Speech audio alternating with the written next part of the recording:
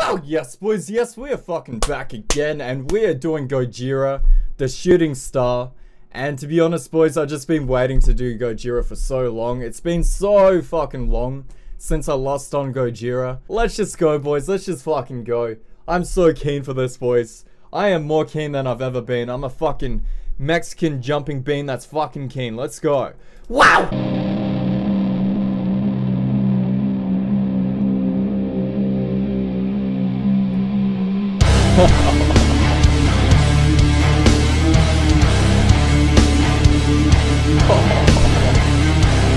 Shit's going louder, man.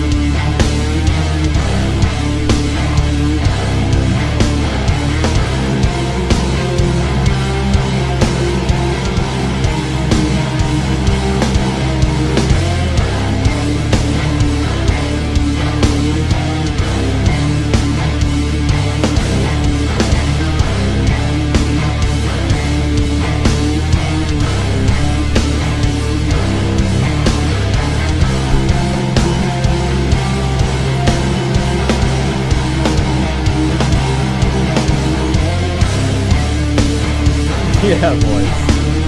It's just, it's just sick. On the first light of the day you march. Departure has arrived. Don't look back. This is expensive as fuck, boys.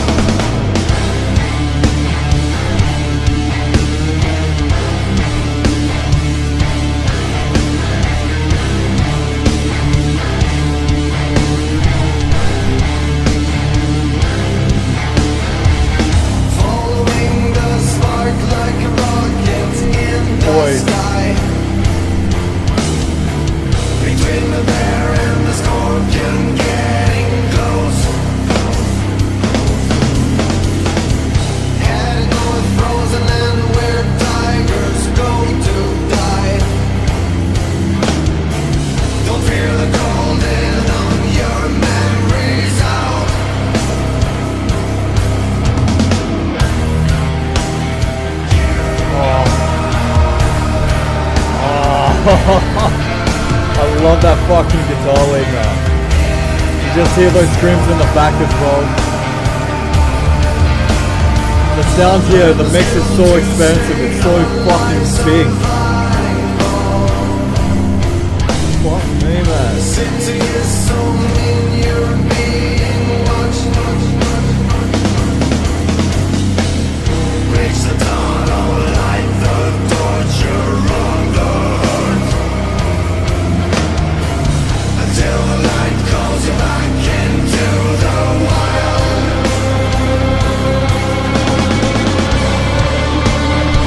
哇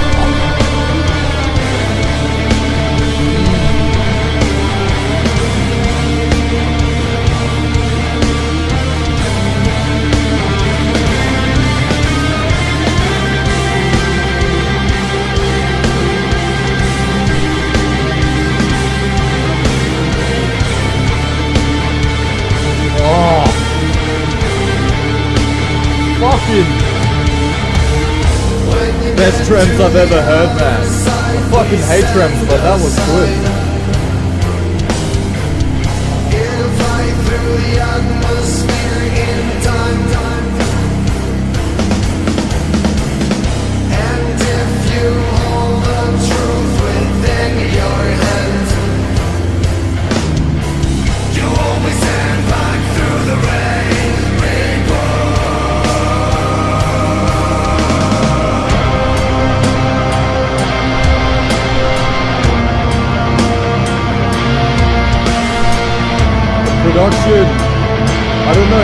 It.